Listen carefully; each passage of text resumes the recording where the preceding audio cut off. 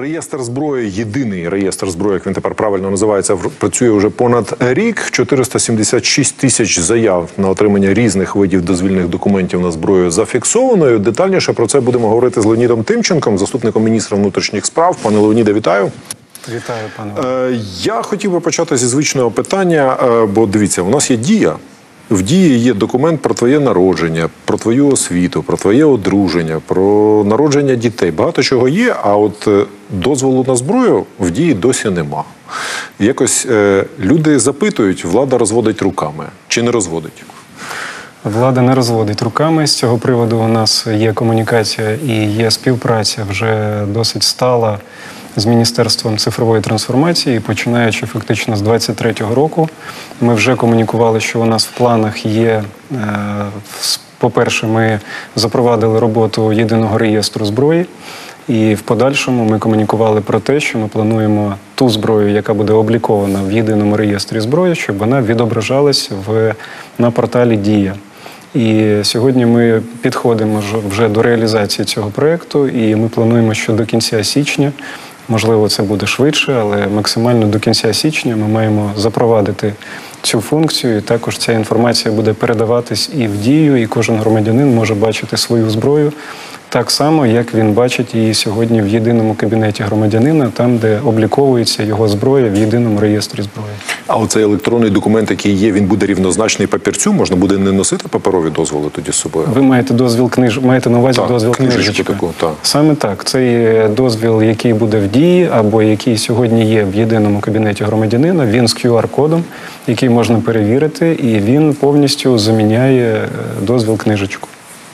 Е, А скільки станом на сьогодні зареєстрованих одиниць зброї в Україні є? Якщо говорити за обліками Національної поліції України, то це понад 1 мільйон 400 тисяч одиниць зброї. В єдиному реєстрі зброї сьогодні вже обліковано понад 750 тисяч. Тобто ми говоримо про те, що е, ви знаєте, що реєстр був запроваджений з червня 2023 року. За цей період понад 50% зброї, яка обліковується Національною поліцією, вже е, знаходиться і є обліковими записами єдиного реєстру зброї. Е, Знову ж таки, ми говоримо про е, повноцінний запуск реєстру тільки тоді, коли останній дозвіл, дозвіл книжечка, буде переведений в електронний вигляд. Вони видаються на три роки, і ми розуміємо, що є дозвіли, які були отримані в червні, на початку червня 2023 року. Відповідно, заміна таких дозволів буде відбуватись до червня 2026 року. І фактично, якщо ми запровадили роботу е, єдиного реєстру зброї в червні 2023 року, то в червні 2026 року е, при- припинуть, е, припинять існувати е, дозволи книжечки. Єдине виключення це дозволи, які видавались на зброю нагородну. Тобто зброя, яка е, нагородна зброя, вона е, без терміну, без терміну дії, не три роки, а безтерміново, тому вони будуть залишатися і немає необхідності їх переводити в електронний вигляд. Ви самі їх переведете в електронний вигляд? Ні, вони залишаються. От тільки нагородна зброя залишається дозвіл книжечка.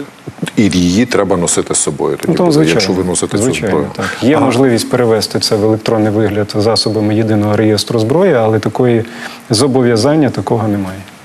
Е, Тобто, якщо я правильно зрозумів, не треба людям з дозволом книжечкою, яких зараз обов'язково самим іти, якщо немає такої нагальної потреби, і переводити її в електронний варіант.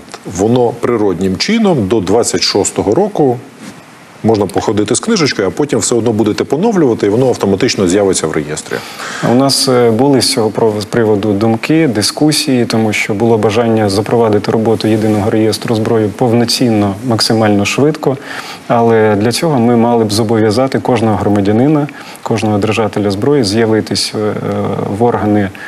Е, Національної поліції для того, щоб е, провести облік цієї зброї і видати, фактично замінити ті е, дозволи, які були у людей на руках, ці дозволи книжечки.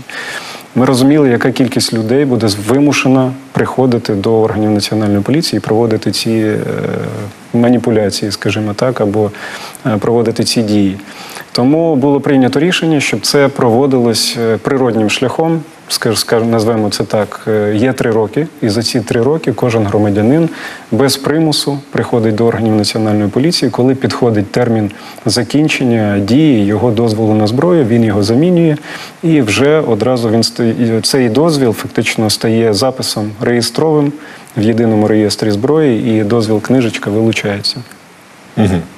Добре, а оця цифровізація, вона якимось чином допомагає контролювати обіг зареєстрованої зброї взагалі? От в чому вона помічна Міністерству внутрішніх справ? Фактично, ми говоримо про те, що йде повноцінний цифровий облік надходження зброї і руху зброї від постачальника або від імпортеру, або від суб'єкта господарювання, магазин, де можна придбати зброю, і далі рух цієї зброї. е, До дозвільної системи, рух цієї зброї до е, підрозділів експортної служби, там, де проводиться відстріл цієї зброї, і після цього знаходження зброї у її власника, її переоформлення, і всі дії, які відбуваються із е, цією одиницею зброї, вони будуть повністю обліковані в єдиному реєстрі зброї, і фактично кожен рух цієї зброї він повністю буде оцифрований. Його можна буде бачити. Історію цієї зброї повністю можна буде бачити від самого початку і до кінця її існування, поки вона не буде здана або знищена підрозділами Національної поліції України. Ви сказали, що мільйон чотириста одиниць зброї приблизно е, є зареєстрованих. Чи правильно я розумію, що це на оці 476 тисяч заяв? На 476 тисяч заяв, е, які надійшли в єдиний реєстр зброї. Тут на ці 476 тисяч заяв обліковано 750 тисяч. Тобто реєстрових записів сьогодні 750 тисяч. Ага, тобто це приблизно 1, 1,03-0,4 одиниці зброї на людину виходить. Так, Так. ми Тобто розуміємо, що є люди, у яких може бути і 10 одиниць зброї, і більше, у когось одна одиниця зброї. Я просто хочу для себе зрозуміти, як це Міністерство внутрішніх справ бачить. Мільйон 400 одиниць зареєстрованої зброї. Це багато чи це мало на країну, таку як Україна, яка перебуває у війні? Е, Ми розуміємо, що ця кількість вона, е, вона постійно збільшується, тому що фактично люди розуміють, і ми знаходимося з 2014 року в стані. е, Ну, скажімо, з 2014 до 2022 він був наближений до, до бойових дій, які, які постійно відбувались на сході.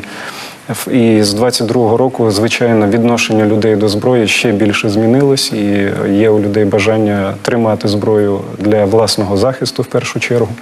Тому е, мільйон чотириста тисяч це стільки, скільки сьогодні є. Чи потрібно більше? Звичайно, кожен визначається сам для себе.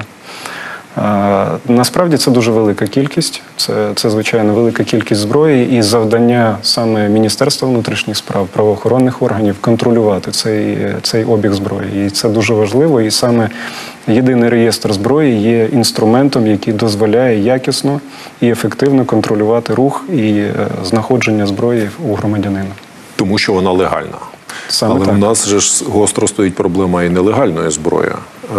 Чи можете ви оцінити приблизно її кількість? Чи є хоч якісь приблизні підрахунки, скільки нелегальної зброї може бути на руках у громадян?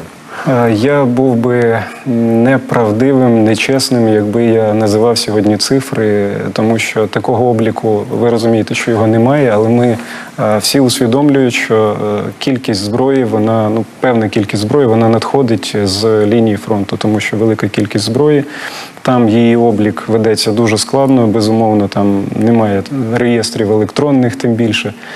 І ми розуміємо, що надходження зброї йде від е, поля бою. Вона, вона може надходити звідти і е, рухатись по країні.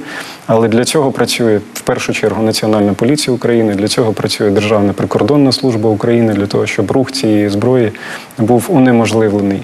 Е, Громадяни сьогодні розуміють, яка відповідальність за використання зброї, за володіння незакон, незаконне володіння зброєю. Тому Я вважаю, що сьогодні держава виконує всі необхідні функції для того, щоб контролювати е, ситуацію, яка є з, з збільшенням Ну, кількості я, пане зброї. Леоніде, питаю так, тому що думаю, раптом є якась методика підрахунку. Знаєте, як е, цю тіньову економіку підраховують. Ну, ніби економіка як економіка, але є припущення, що там 50% чи 30% економіки в тіні, хоча ніби формально і теж складно порахувати, але якимись непрямими ресурсами рахують. Тому я думаю, може є у вас така методика. Тоді я по-іншому спитаю, наскільки гостро простоїть проблема з цією незареєстрованою нелегальною зброєю?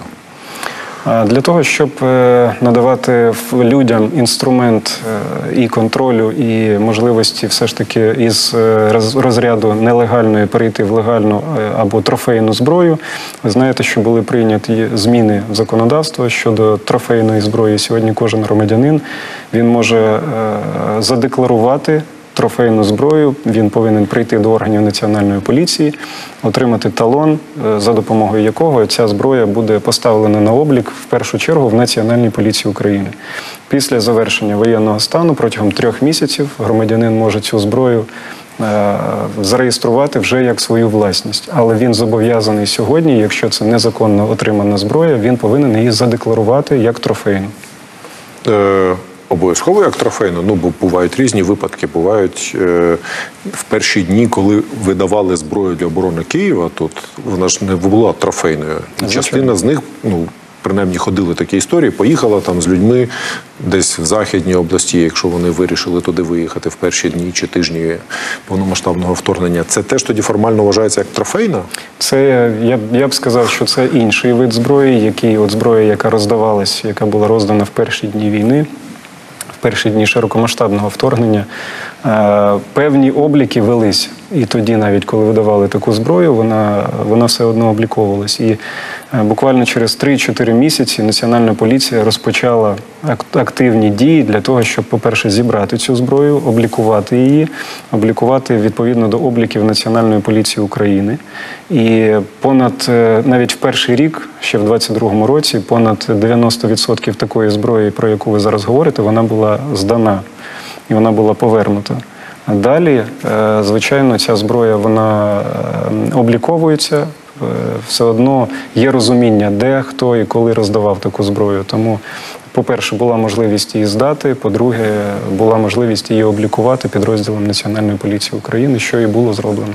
А чорний ринок зброї в Україні функціонує? Ну я розумію, що коли ми говоримо про зброю, то ми говоримо про стрілецьку здебільшого або ну максимум гранати такі, тому що ми ж не говоримо про установки Петріот там чи Джевеліни. Тобто це стрілецька зброя, пістолети, автомати, гранати. Чорний ринок наскільки ефективний А. е, е, взагалі функціонує в Україні? Безумовно, він існує і він функціонує. Ми говоримо про те, що сьогодні понад е, вісім разів збільшилась кількість вилучення нелегальної зброї підрозділами національної поліції порівняно з е, е, 21 роком, порівняно навіть з 22 роком початок і. е, Ви розумієте, що в 22-му році реєстрації таких злочинів вони були на, порядок менше ніж в 23-му і 24-му. Тому Е, Підрозділи національної поліції націлені на цю роботу, отримується інформація. Відповідно, працюють всі підрозділи для всі необхідні підрозділи для того, щоб виявляти і вилучати таку зброю. І е, сьогодні ця робота досить ефективна. Звичайно, вона знаходиться на постійному контролі. А куди йде вилучена зброя? На передову? Підрозділи національної поліції далі е, з'ясовують, по-перше, її походження, і спільно з військовими вже приймається рішення, куди буде при- куди буде використовуватись, застосовуватись ця вогнепальна зброя. Дякую, пане Леоніде, за детальні такі пояснення. Леонід Тимченко, заступник міністра внутрішніх справ України, був гостем нашої розмовної студії. Тепер ми більше знаємо про зброю і знаємо, що в дії до кінця січня, принаймні, має з'явитися теж цей електронний дозвіл, який замінить книжечку дозвіл на зброю, але все буде відбуватися природнім поступовим чином.